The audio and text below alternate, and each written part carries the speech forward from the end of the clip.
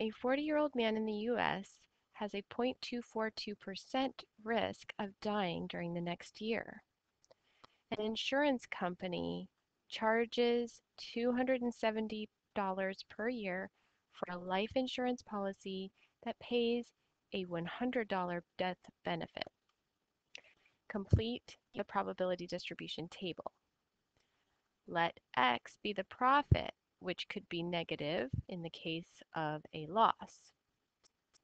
List the X values from largest, uh, smallest to largest.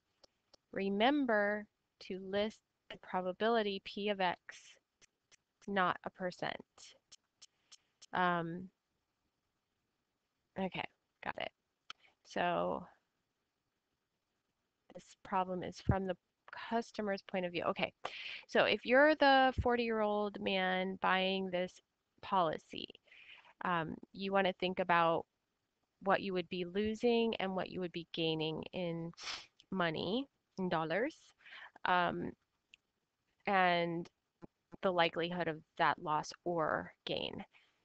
So, first of all, um, the risk of dying is very low here. And the, the weird thing is that if the person were to die, they would actually be gaining $100, $100,000.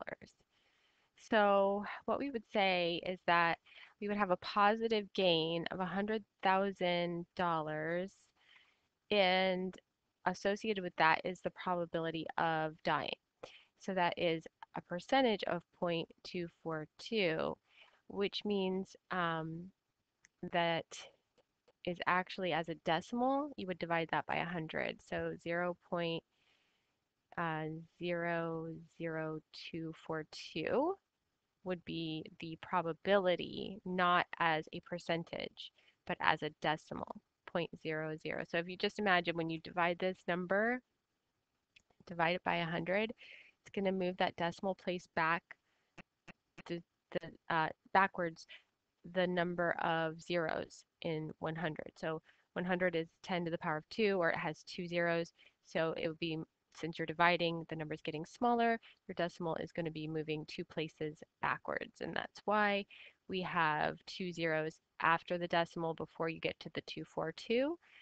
Um, of course, you could just simply do that in a calculator, take the number and divide it by 100.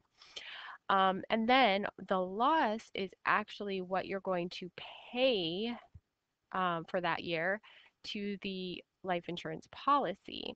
So if you don't die, then you are actually losing $270 with no gain. So we'll put negative $270 for the year. And um, that's that should be associated with the probability of not dying.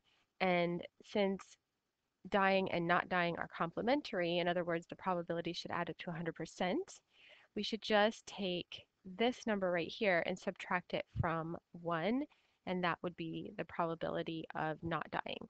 So we'll do 1 minus 0.00242, and take that number and put it here for the probability associated with the gain. Um, now I'm going to just read the directions again to make sure I did this the right way because I think I just remembered. It says list the x values from smallest to largest. So I guess, um, yeah, we need to switch these. So instead of the 100,000 being there, it needs to be down here and the negative 270 should be here. And we also want to swap the probabilities. Oops.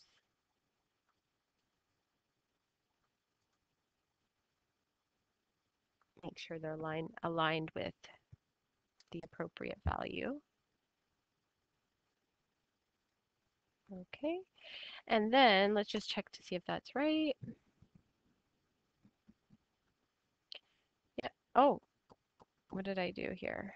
It says $100,000. Is that not $100,000? Oh, right. Um, since you would have paid the 270, you should take that away from the um, death benefit. So let's take 100,000. Make sure I got enough zeros there. Five zeros, okay. And then minus the 270 paid at the beginning of the year for the policy.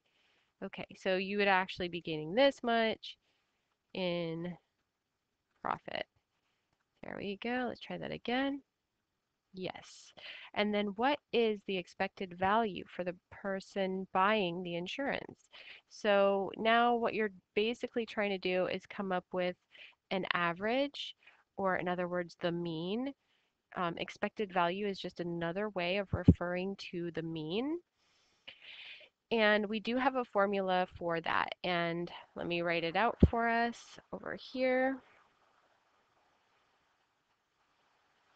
the mean, which is the same thing as the expected value, E of x, can be found from a discrete probability distribution by adding up, summing the individual x values times each corresponding probability. Okay, so you want to get these products first and then add them together. So if we make a table over here, I'm just going to do my x and p of x table over here, x and p of x.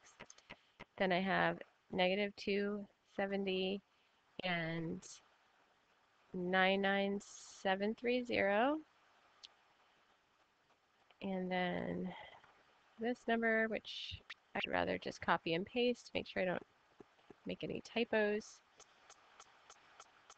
I don't know if you can hear it in the background. This pouring, pouring rain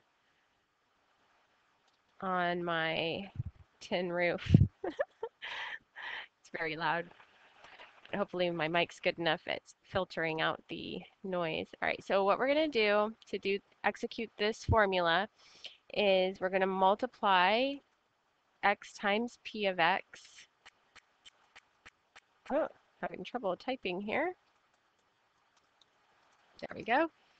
So multiplying the x value times its corresponding probability, doing that for both rows. And just move this out of the way.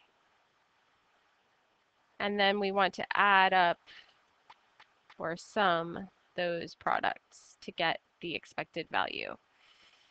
All right, so negative $28 is that a bad loss? That's a pretty, I think that's worth it, right? Just to have, you know, you're, yeah, you're losing money, but I don't know. It's kind of a weird question. But there you go. That's how you can kind of average out your amount of profit or loss